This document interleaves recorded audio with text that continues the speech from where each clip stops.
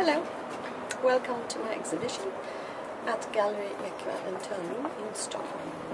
Come in.